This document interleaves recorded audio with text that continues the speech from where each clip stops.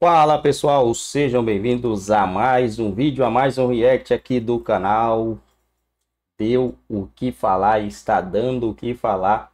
Essa questão de Malafaia e Bolsonaro. A gente tá vendo quem é quem, né? Bolsonaro errou, errou, mas não no sentido que o Malafaia tá falando. Na minha opinião, cada um tem a sua e pode ter uma opinião diferente da minha nesse quesito aí, né? Para mim, também eu entendo que ele é do PL, que ele entendo esse, esse sistema aí, né, gente? Não vou dizer assim, ah, mas ele deve... eu vou entender. O cara passou por um momento muito difícil ali em 2022, se frustrou, como o brasileiro também se frustrou, então eu não vou aqui julgar ninguém, mas para mim o Malafaia nessa questão aí ele viajou legal. Se você ainda não é assinante do Oeste, pode estar tá dando essa força a esse canal que ano que vem acredito que vai vir com mais programações. Só depende de mim, de você dar essa força assinando lá, é muito tranquilo. Entrevista concedida a Mônica Bergamo, da Folha de São Paulo, o pastor Silas Malafaia, um dos maiores apoiadores de Jair Bolsonaro, disse que está decepcionado com o ex-presidente Malafaia acusou Bolsonaro de se omitir nas eleições municipais de São Paulo e chamou Bolsonaro de covarde e omisso. Vamos ouvir a sonora. Jair Messias Bolsonaro.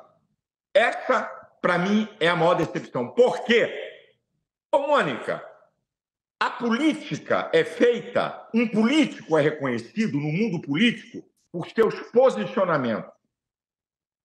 Qual é a sinalização que Bolsonaro passou? Eu não sou confiável nos meus apoios.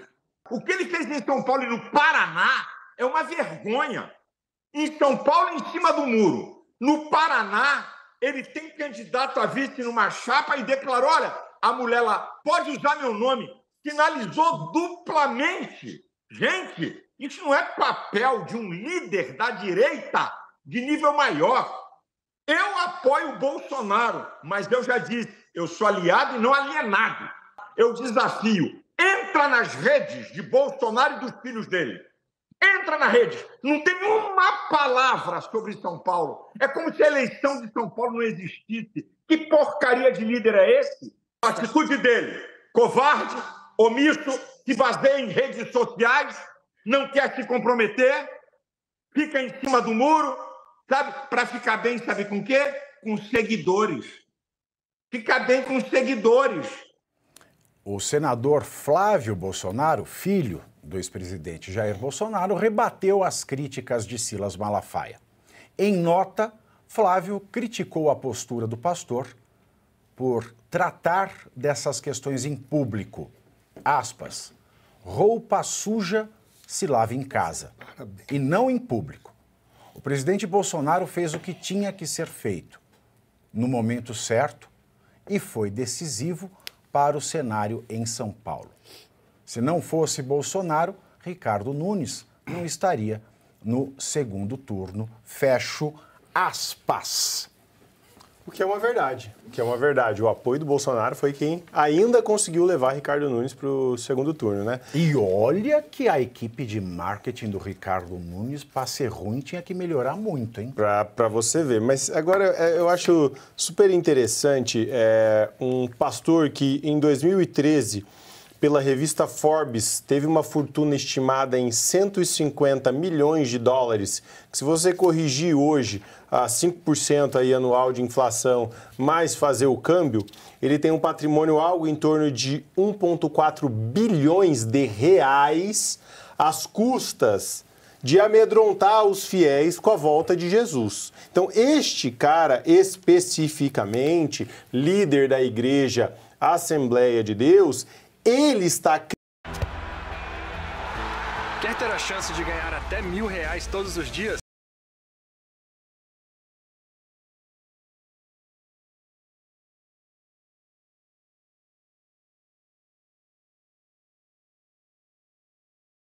Para aliviar os sintomas com o senhor ou com quem quer que seja.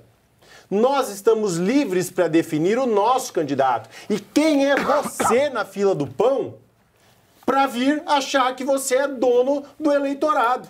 Só que o senhor está confundindo o que o senhor faz no palanque da sua igreja.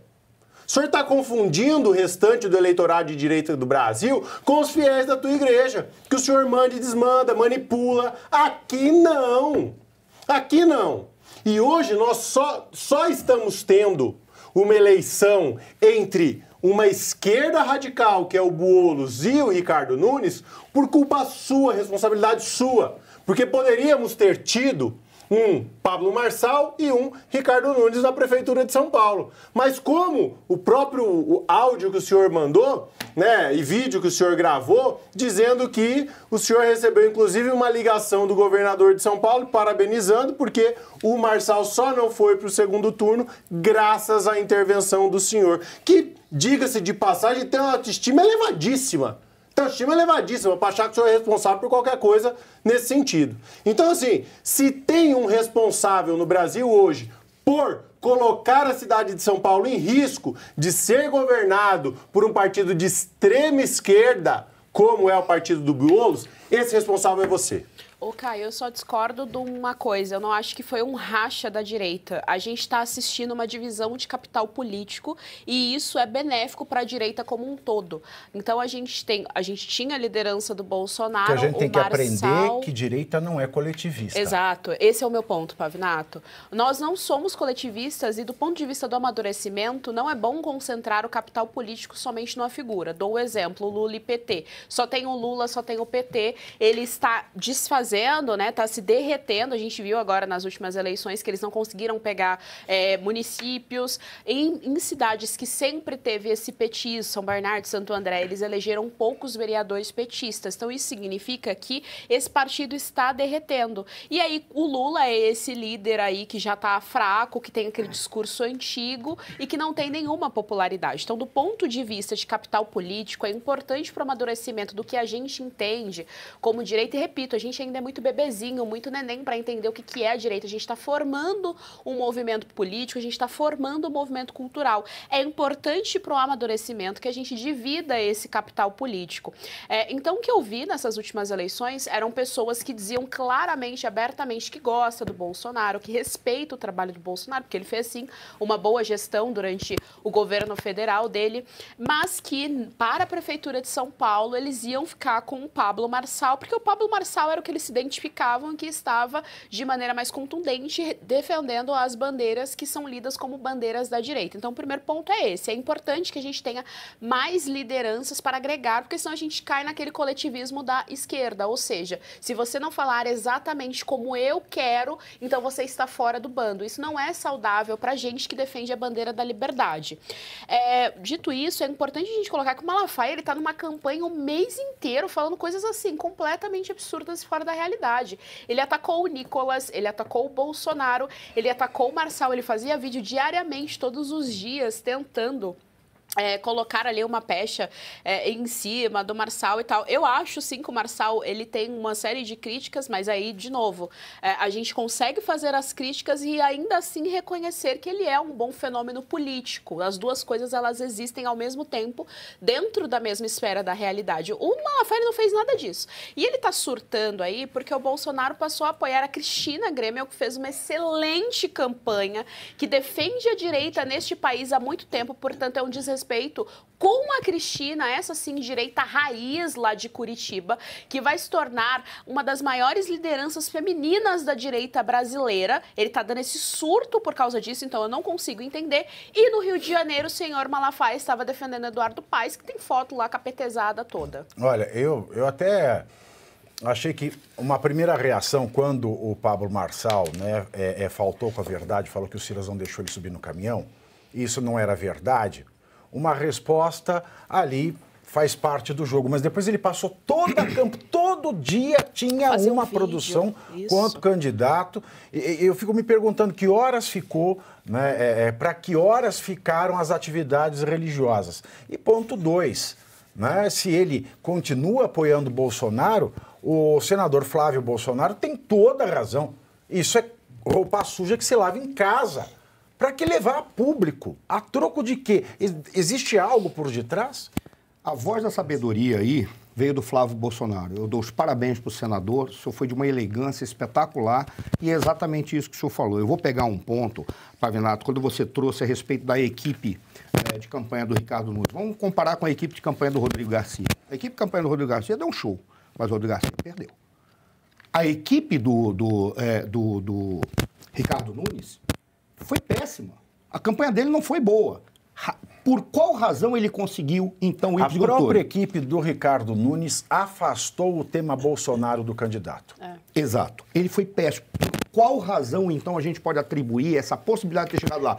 Se não exclusivamente, mas com peso muito grande, do Bolsonaro. Independentemente do Bolsonaro ter é, batido fotos, sambando, partindo de mãos dadas, ou pululando com, uh, com o Ricardo Nunes. O Bolsonaro tem um peso enorme na eleição do, Rodrigo, do Ricardo Nunes. Isso a gente tem que colocar. Agora vamos pegar a questão do Silas Malafaia. Como disse o senador Flávio Bolsonaro, roupa suja se lava em casa. Isso não foi apenas um erro. Me assusta as consequências do que virão. Por qual razão? Você, não, você pode até romper com alguém, você pode até discutir, mas existem linhas que você não pode ultrapassar. Você não pode fazer críticas morais, você não pode reduzir a importância da pessoa ao ponto de mostrar que ele não é mais relevante, porque no, no, no frigir dos ovos, o que ele disse? O Ricardo Nunes foi, ele, eh, o Ricardo Nunes foi eleito independente do Bolsonaro. Mentira. Se não fosse o Bolsonaro, o Ricardo Nunes ia ficar em quarto lugar muito provavelmente a gente poderia estar sambando desesperado com a possibilidade da Tabata que é alguém que está lá, a gente não sabe por quê, com todo respeito, mas isso não cabe aqui agora. Então, o Bolsonaro, sim. Aí ele começa a apontar. Veja, o Bolsonaro não foi. Que líder é esse? Aí ele começa a dizer. O, é, o Tarcísio, sim, foi líder. O que começa a apontar é que ele já está indo atrás do herdeiro do Bolsonaro. É que ele já acha que o Bolsonaro não vai ser eleito ou não vai ser autorizada a eleição do Bolsonaro. Que se o Bolsonaro se candidatar, ele vai ser eleito. E nós temos que colocar algumas coisas que são muito claras. A questão de várias lideranças, eu concordo com a Geice, mas tem uma coisa que a gente deixar muito claro aqui. O Bolsonaro tem que virar a página? Tem, mas não é agora. A página Bolsonaro só pode ser virada em 2034. Por quê? Porque ele é ainda a única liderança que conseguiu corporificar as transformações que se queria, exatamente pelo fato dele não ser um ditador, dizer eu sei tudo, por isso segue nesse caminho. O que, que ele diz? Eu tenho valores e vou atrás desses valores até o final. Agreguem comigo. Tem uma diferença entre líder e, eh, desculpa, discípulo e herdeiro. O discípulo é aquele cara que segue na risca o que o mestre fala. O herdeiro é aquele que entende qual foi a transformação que foi feita e diz: neste momento, olhando a conjuntura, o herdeiro sou eu, porque eu estou entendendo as novidades e quero as mesmas transformações, mas por outros meios, que foi a aposta que fez o Pablo Marçal. Cometeu um monte de erros, razão pela qual ele dançou. E nem sei, a teoria de conspiratória, não é conspiratória, é brincadeira, mas a teoria que o, que o Arthur trouxe, para mim é até sensata. Talvez o Pablo Marçal não quisesse, ele chutou o pau da barraca e fez um cálculo jurídico errado mas chutou porque ele não quer é, o BO que é ser prefeito de São Paulo. Voltemos para o Sila Malafaia e agora eu encerro. Acho que foi inadequado. Ele não poderia estar se referindo ao, ao Bolsonaro dessa maneira, menos ainda às outras lideranças. Porque se novas lideranças surgem, ele está cometendo o erro de que é de tingir moral e comportamentalmente, comportamentalmente as lideranças da direita que estão surgindo aí. E como a Geise disse, aí eu concordo com ela, são várias lideranças que vão surgir. O que essas lideranças têm que entender é o momento de virar a página. Neste momento, Bolsonaro é, 26, Bolsonaro 30. 34, vem o novo. Se é que ele vai conseguir, e nós vamos verificar quem é o, o, o discípulo e quem é o herdeiro, para nós de direito escolhermos. Nós queremos um herdeiro, o cara que é novo e faz a transformação, defendendo os nossos valores. Ou nós queremos o discípulo, é aquele que apenas assinar aquilo que o Bolsonaro fez e dá continuidade. E ele está estragando, está cometendo o mesmo erro que cometeu depois da eleição do Bolsonaro. Os cinco ou seis movimentos que elegeram o Bolsonaro se fragmentaram atrás das suas vaidades ou do seu narcisismo próprio. Estão destruindo a direita. E a esquerda está rindo de orelha a orelha a quando vê algo A do vaidade jeito. é uma. As pessoas perguntam é aqui no chat. As pessoas, as pessoas perguntam aqui no chat. Você não vai falar. Fala, tá. As pessoas querem oriçar, né? É, falar coisa. É. é. o seguinte, você, uma aqui me chama mais atenção. Pavinato, você vai apagar a sua foto com o Silas Malafaia no Instagram? A resposta é não. Não. não. Porque se vocês sabem ler, vocês vão ver a legenda que está nessa foto, que eu lembro de cabeça. Nunca concordei com nada com Silas Malafaia. Sempre, sempre discordei do Silas Malafaia. E essa foto representa um momento em que nós dois estamos juntos para lutar pela liberdade de podermos continuar a discordarmos um do outro livremente. Perfeito. Sem censura do Moraes. Perfeito. Não, não vou. O trabalho que ele fez contra o Alexandre de Moraes, a única assembleia que bateu de frente com o STF durante todo esse regime de medo foi a Assembleia de Deus do Silas Malafaia. Esse mérito não, não, não se dá para tirar dele. Agora, as pessoas, elas não podem ser tomadas é, é, por um fato como um todo. Isso que o Alexandre de Moraes faz. Uma pessoa fala uma coisa que ele não gosta, ele tira a pessoa da rede social, ele tira a pessoa de circulação. As pessoas têm que ser julgadas pelos seus atos. E os atos não correspondem isoladamente ao que uma pessoa é. Naquele momento que eu fiz a foto com ele, nós estávamos numa causa comum, que era a causa de nós podermos nos discordarmos livremente sem morais. Agora, quanto a isso, está errado, mas eu, eu, não sou de cancelar, eu não sou de negar as coisas que eu faço. Ô, Pavinato, por falar em discordância, Bom, pessoal, é isso aí, meu povo. Cara, todo mundo tem o seu direito de questionar ou não as pessoas, né? Vivemos em um país livre, democrático. Vamos lá.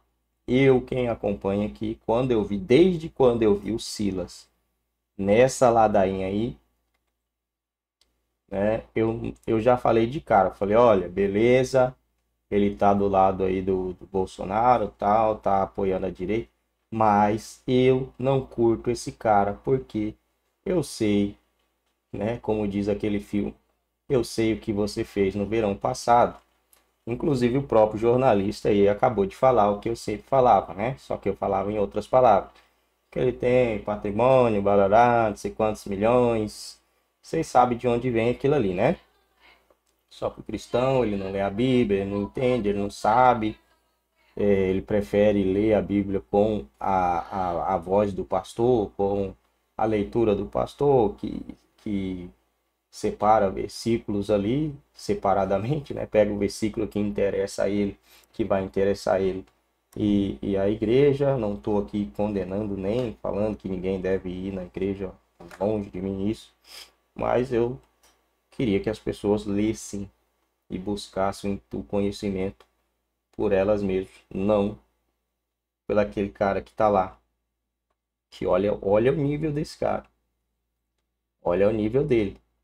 Isso, esse discurso dele não é de hoje, é um discurso tirano. É um discurso de tirano. O Nicolas foi falar algo que ele não gostou. Ele foi lá e fez o quê? Esculachou o Nicolas. Isso é o quê? Discurso de tirano. Se der poder na mão desse cara, ele vira um tirano, gente, tá? Desculpa aí. Quem for é, diz quem discorda disso, é só analisar. Pera aí, você falou algo que. E isso é uma pessoa que está do lado dele, do lado da direita. Você imagina quem está do lado da esquerda. Uma pessoa que está jogando no mesmo time dele, ele usa um discurso tirânico, de tirano. Não, você não tem o direito de pensar isso. Por que você isso? Por que você aquilo? Você não, não fez isso. Você não tem o direito de discordar de mim. Peraí. Peraí. Né? Muita gente não está acordando para isso aí. Mas tem muitos desses aí espalhados é, nas igrejas, tá? Muitos, muitos que dizem que você tem que dormir com a roupa até aqui. É que você tem que dormir de pijama. Essa aí é, é, as mais leves, é as mais leves, né? Não sei de onde eles tiram essas ideias deles aí. Não sei, queria saber, queria ler esse livro que eles leram, né? né? Porque na Bíblia não é a Bíblia, é outro livro, é outra coisa que eles leram, para tirar essas ideias malucas da, da, da mente deles aí. Proibido isso, proibido aquilo, proibido. Ah, vai vir um monte de gente, ah, mas não é proibido, tudo minha lista. Mas... É isso mesmo. Você está falando isso porque ele te ensinou que tudo te é lícito, mas nem tudo convém. Mas se você parar para ler com a sua mente, ler lá, não pegar só uma partezinha assim, ó, né? E, e vomitar sobre esses assuntos. Tudo minha lista está falando ali é sobre as coisas erradas, né? Não é sobre outras coisas que você está pensando aí que tudo me é, não.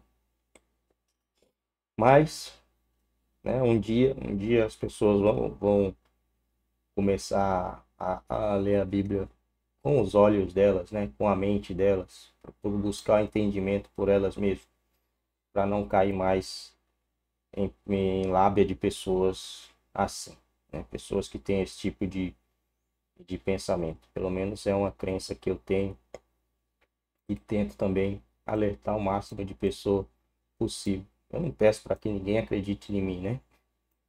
Quando você pede para a pessoa acreditar em você, é porque você está querendo ser o dono da verdade. Eu peço para que a pessoa vá lá, falando de Bíblia, de igreja aqui, vai lá e ela leia, leia. Ah, não entendi, leia de novo. Põe em áudio. Bíblia em áudio, põe um fone aqui, ó. E ó. Aí no outro dia põe de novo o mesmo livro. Repete o mesmo livro quatro, cinco vezes aí muda para outro, repete. Mas se você quer aprender sobre salvação, evangelho, pula, vai ali de, de Romanos para frente. Romanos para frente. Aí você vai entender o que é a doutrina da igreja daquela época, qual é, como você deve andar, porque Jesus morreu e aí que veio Paulo, os apóstolos ensinando, como a igreja deve se comportar, essas coisas. Não é esses, essas doutrinas tirânicas aí que, que esses caras colocam. É muita doutrina tirânica, que não tem nada a ver com Bíblia.